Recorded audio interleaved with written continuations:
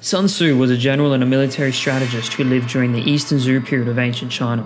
In his highly influential book, The Art of War, Sun Tzu provides a definitive framework of how to engage in warfare when battling enemies. Comprising of 13 chapters, with each chapter covering a different element of warfare, it has gone on to shape the way conflicts have been fought for thousands of years by influencing some of the most notable military leaders to have lived in recent times, such as Napoleon Bonaparte and General Douglas MacArthur. You could say that warfare and athletic competition are similar in that the objective is to defeat the opponent. Of course, we know that the main difference between the two is that in one, you are required to kill your opponent, whereas in the other, you need to score more goals than your opponent. But luckily, we won't need to worry about that minor variation for this video.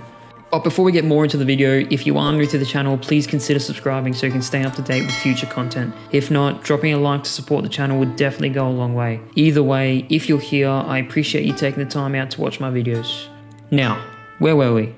Ah, yes, Sun Tzu, Art of War, Sports.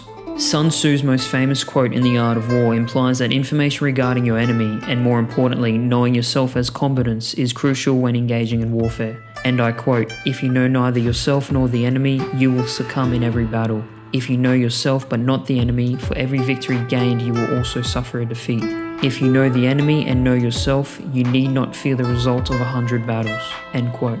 Before we go on to explain how coaches can apply this quote to their own team, it's important to realize that this quote is described as a military calculus where generals should take into account anything and everything that could affect the probability of winning a theoretical battle. With this being said, a coach must know his team's own weaknesses and what to do to protect themselves against their opponent. They must know their strengths and apply them in the most appropriate and efficient way possible. But that is only half of the idea that Sun Tzu envisaged.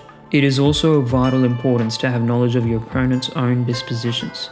How will they attack? How will they defend? What are their strengths and how can they be rescinded? What are their weaknesses and how can they be easily exploited by knowing one's own corresponding strengths and weaknesses? In a practical sense, and let's use football as an example, because that's what we're all about here on this channel. If the opponent is weak in the air, then it would be advisable for a coach to draw focus on bettering his team to execute attacking plays in the air during particular moments, such as set pieces or getting crosses into the box as a means of exploiting their weaknesses. We can venture even deeper with Sun Tzu's teachings by looking at each individual player as a separate entity. How does the player contribute to his team individually? What are their strengths, weaknesses, and how can they be opposed, providing players with foreknowledge to better their intuition during the game? An example we can use to illustrate this is the epic Champions League semi-final match between Jose Mourinho's Inter Milan and Pep Guardiola's Barcelona back in 2010. In his masterclass video with the coach's voice in 2019, Mourinho revealed that when in defense, his team's primary objective was to prevent Messi from getting on the ball easily. All Inter players were given the responsibility of marking Messi by holding a compact shape while defending zonally. This means that whenever Messi decided to venture out of his opponent's zone, another Inter player would immediately mark him, often leaving the mark from another attacker in order to do so. Inter Milan won 3 1 that night, making it one of the greatest underdog stories in the history of the Champions League. And to add, Sun Tzu even had the idea of swarming your opponent, 2400 years before Jurgen Klopp popularised it at Borussia Dortmund with his gegenpressing style. I think it's fair to say that this guy was way ahead of his time. Luis Felipe Scolari also outwardly disclosed that he greatly relied on Sun Tzu's lessons to aid him in his preparations for the 2002 World Cup with Brazil, which he eventually went on to win. He said that he even put passages of the art of war underneath his players' doors during the night to invigorate their spirit in the morning before a match.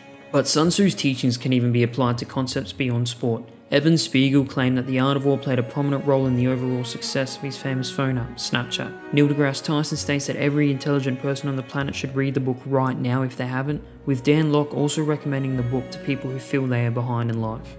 Ultimately, Sun Tzu's ancient teachings present modern day sports coaches with a primitive guideline in how to tactically approach an opponent. Sun Tzu teaches us how to pick and win our battles and advises us to measure and calculate, to know our opponents and ourselves, so we can be victorious before even making a move. Although Sun Tzu's lessons may have not directly influenced all modern day coaches, it can surely be said that his teachings have profoundly shaped the way we proceed against our enemies.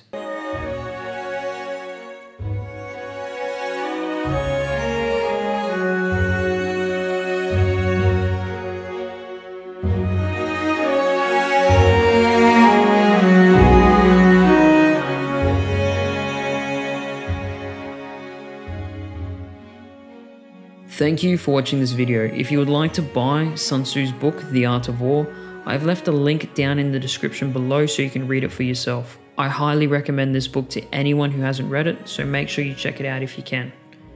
Thanks again, and I'll see you all in the next vid.